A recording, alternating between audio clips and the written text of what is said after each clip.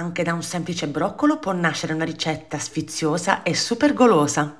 La torta di broccoli con salame piccante e scamorza filante. Ghiotta e saporita sarà amore al primo assaggio e vedi che ti mangi! Puliamo i broccoli staccando le cimette dal gambo e tagliando la parte del gambo delle cimette a rondelle sottili.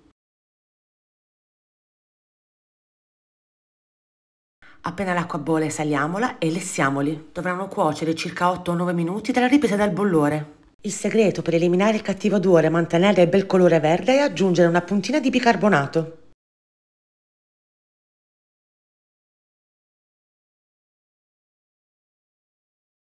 Scogliamoli e lasciamoli intiepidire. Sminuzziamoli molto finemente con un coltello e trasferiamoli in una ciotola capiente.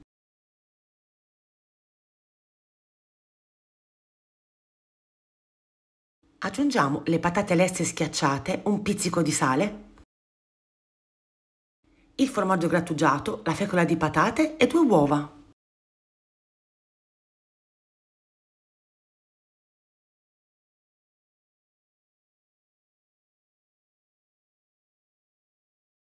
Amalgamiamo bene il tutto fino a ottenere un composto uniforme e omogeneo.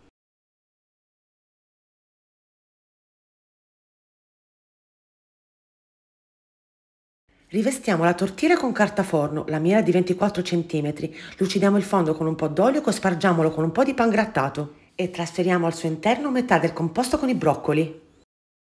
Livelliamolo con un cucchiaio e poi compattiamolo con le mani. Basterà bagnarle con un pochino d'acqua in modo da inumidirle e creare una base compatta e uniforme.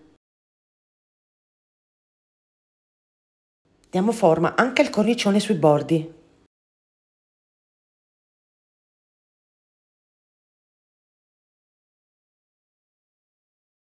E per la farcitura aggiungiamo il primo strato di scamorza affumicata e di mozzarella. Proseguiamo aggiungendo il salame piccante e poi altra scamorza e mozzarella. Si formerà un cuore saporito, goloso e super filante.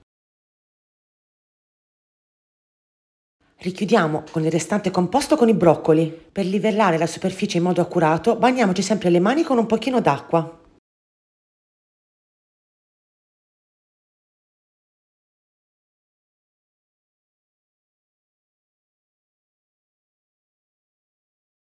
Terminiamo con una pioggia di formaggio grattugiato e di pan grattato e con un filino d'olio.